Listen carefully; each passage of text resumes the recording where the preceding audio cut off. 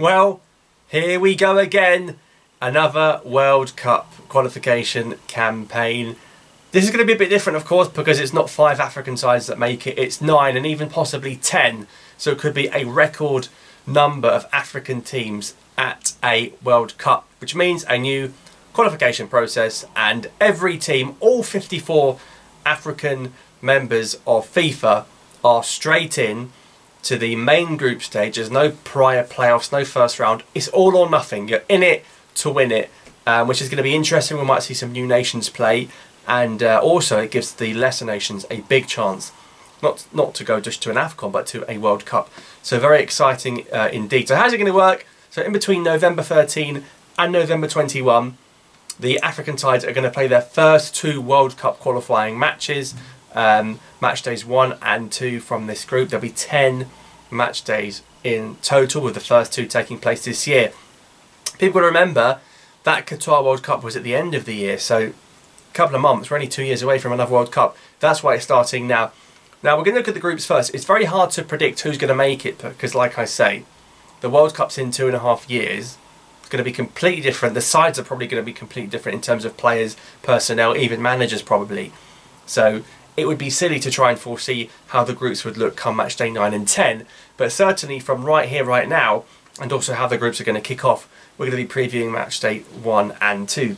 So before I take you through all the fixtures, let's look at the groups again. So Group A has Egypt, Burkina Faso, Guinea-Bissau, Sierra Leone, Ethiopia and Djibouti. And it's worth pointing out every group winner, there's nine groups, every group winner makes it to the tournament. And then if you come second, the best four runners-up will enter a playoff system, and it's a very long playoff system. It's a semi-final or final, and then an inter-confederation playoff against a country from another continent.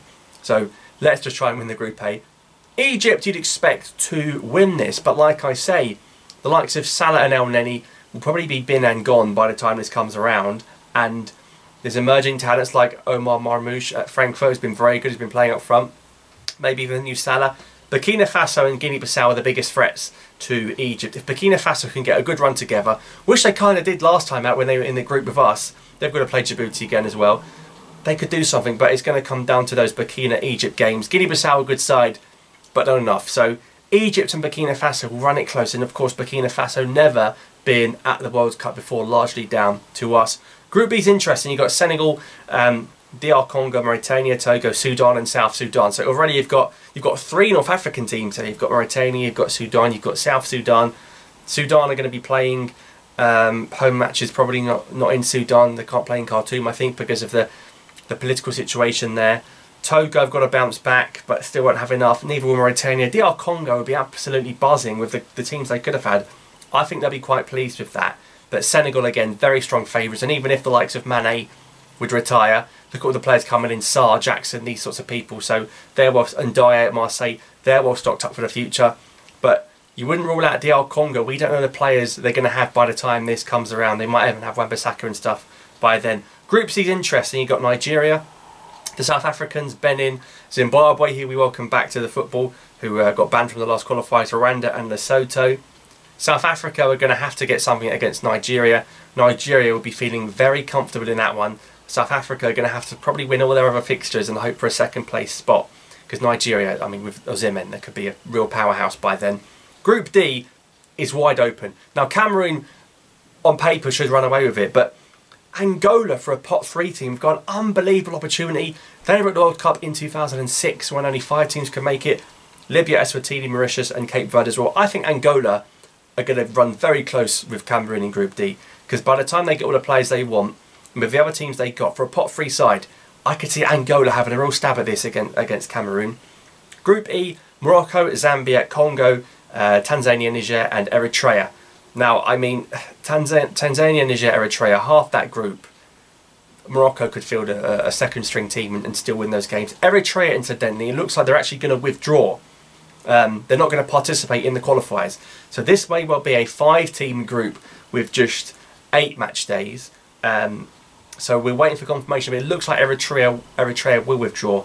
Morocco are going to have far too much for that. Even in the AFCON group, they've got Zambia. That'll give an indication as to how this group goes. But Morocco comfortably, and I can't see a team from there coming second and making to the playoffs, unfortunately. Group F, Ivory Coast, Gabon, Kenya, Gambia, Burundi and Seychelles. Gambia, again, no luck. Why Gambia in pot four? They're AFCON quarter-finalists, AFCON again now. I think that's a bit harsh. You know, Kenya in pot three didn't even play in the last qualification campaign. Welcome back, Kenya. Aubameyang's days are over. Uh, even if Lemina stays, Gabon are a mess. Ivory Coast comfortable. If Gambia get their act together, they could go for second with a good run. Same with Kenya. If Michael Olunga gets his act together, they could go on a good run. But Kenya, you know, Wanyama's not what he was, and, and Olunga playing in the Middle East, it's, it's a lot on one player. But Kenya and Gambia, maybe, but unlikely. Ivory Coast strong for that. Group G is our group. Uh, Algeria, Guinea, Uganda, Mozambique, Botswana and Somalia. Um, what, a, what a moment for the Somalis. I remember the last World Cup campaign, they, they beat Zimbabwe, didn't they, in qualifying. Um, now they're straight in the group phase because more teams can make it. Tough ask for Somalia to play us in match day one, but they'll be buzzing to be there and hopefully will give their nation good publicity and inspire young Somali footballers and athletes as well. Guinea with Guirassy could do something. But Algeria could have asked for a better group. And even if we lose in Guinea, which probably won't even be in Guinea because they're having to play Morocco, we should probably still be able to make it. Um, Tunisia as well. Talk about jammy luck. They've had an unbelievable gift. Any semi-tough group, and Tunisia I think would be bang in trouble. But Equatorial Guinea, who they had in the last qualification, and they lost to, Namibia, Malawi, Liberia, Sao Tome and Principe, that is the worst group here. That group is shocking. And an average Tunisia is probably going to still win it. Because if any other pot two side had been in there, even if Zambia are in there or DR Congo, I'd back them to win it. Look at the other nations. Equatorial Guinea could well make a World Cup in that sort of group. They could well do it. Keep an eye on that one. And then the last group, Mali and Ghana. This is spicy. I think Mali, Ghana are going to go head to head right to the final match day. It's going to go down to the wire, just like it did for Ghana at the AFCON qualifiers. That's an unbelievable group. You've got Madagascar, Central African Republic, Comoros and Chad making up the numbers. Mali still looking for that first World Cup. That's an unbelievable group as well. So that's who the groups are. Let's look at who, what the fixtures are for match days one and two. So match day one is pretty much the best team and the worst team facing each other in the group, roughly, roughly. Um, and then the other fixtures as well. So Rwanda going to play Zimbabwe. Zimbabwe haven't played any real competitive football, but you expect them to win against uh, Rwanda. Equatorial Guinea should win at home to Namibia. DR Congo and Mauritania meet again, just like they did in that head-to-head, fast-paced AFCON qualifying group, where DR Congo and Mauritania, ironically, were the two teams that made it ahead of Sudan and Gabon. I still think the DRC will beat Mauritania this time with no problems. Ethiopia, Sierra Leone, oh, that's a tough one. Ethiopia were at the AFCON in Cameroon, but not this time. Sierra Leone were also at the AFCON in Cameroon, but not this time. I think that'll be a draw. Burundi playing Gambia, that'll be close. I could see that being a draw. Botswana, Mozambique. If Mozambique want to take this campaign seriously, they took the AFCON on seriously and they qualified, they've got to win against uh, Botswana away. Egypt are playing Djibouti. Now, Salah is going to start up here and he's going to star pad. I've no doubt Salah hat trick. Egypt 5 6 0. Remember when we played Djibouti, we won 8 0. I mean, what's Salah going to do to them? Goodness me. Sudan, Togo, Sudan probably playing in Libya, Benghazi. Togo didn't make the AFCON. Um, both those teams, if they want a good chance, they have to win that game. Um, I think Sudan will beat Togo, um, even in Libya. Nigeria are going to battle Lesotho. We saw what they did again in the last qualifying campaign. They won a game 10 0, didn't they, against Sao Tome? What are they going to do against Lesotho if they're playing in, in, in Lagos or whatever, or Abuja? Uh, Gabon, Kenya, I just can't take Gabon seriously. It's such a circus the way they're being run. Aubameyang thinks he runs that show. I wouldn't put it past if Kenya drew that. Algeria, Somalia, we'll preview that in depth, in detail in the run up to the game. Somalia's best players seemingly not allowed to play for Somalia. This could be another 8 0 slapping like the Djibouti game, or maybe even double figures in Baraki as well, um, back at the good stadium. Cape Verde Angola is a really interesting game in that group. Whoever wins that has got a big shot at, at trying to come top. Um, both their sides are going to need something against Cameroon, but Cape Verde were awful against Algeria. I think draw or Angola win. Morocco Eritrea, which was penciled in to be match day one. Again, I think that's going to be cancelled because Eritrea are going to withdraw. So Morocco are going to be handed probably a 3 0 win and the three points, um, which is fair enough. Eswatini playing Libya. I mean, surely Libya. Listen, I've been so disappointed in Libya, and, if, and the guy at Braga, Al-Musrati, is so good. I hope Libya win that game. But if they don't, And Eswatini got a couple of good results, a couple of shock results, um, particularly against Togo in the last qualifying campaign.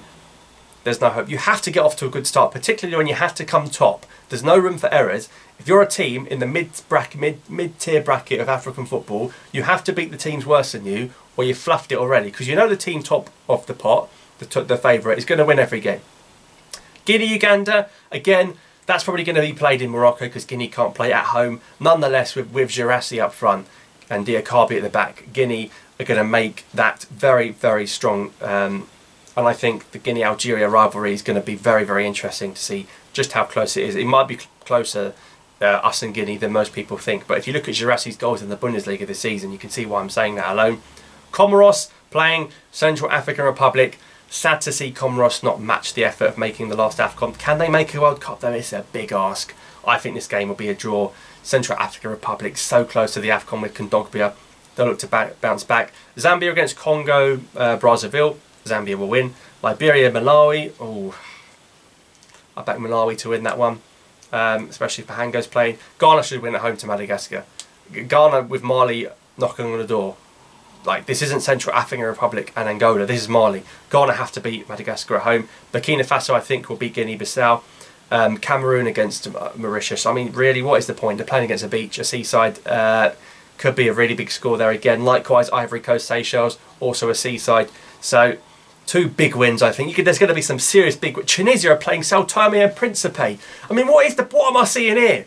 Mali, Chad. That's what I'm saying. The best teams playing the worst. Those games, those four I've just read out. Cameroon, Mauritius, Ivory Coast, Seychelles. I mean, they're playing tourist destinations, Jet2 holidays and all that. I mean, what is the...